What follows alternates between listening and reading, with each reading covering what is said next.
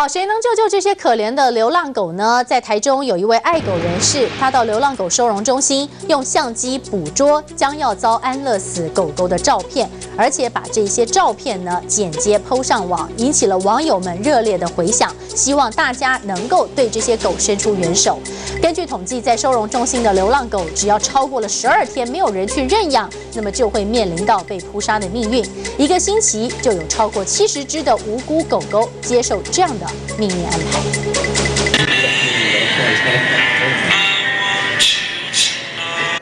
狗狗无辜的大眼睛望着笼外的世界，仿佛宣告他们的生命只能走到这一刻。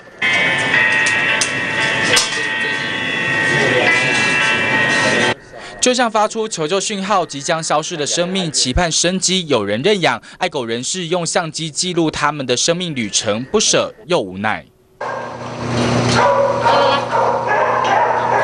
这就是无奈工作人员依照程序把这个星期准备安乐死的狗先打前导麻醉，再打麻药，不用一分钟狗就会一命呜呼。每周会有七十只以上或是更多的流浪狗接受这样的命运安排。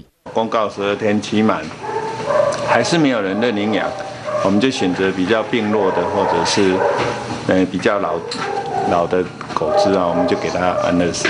自制影片在网络流传，不到一天超过六万人点阅。没人想当土狗的刽子手，流浪狗被扑杀不是执行者的问题，问题在养的人想养就养，想丢就丢，真的爱它就不要抛弃它。年代新闻时间，刘建颖、林一峰，彰化报道。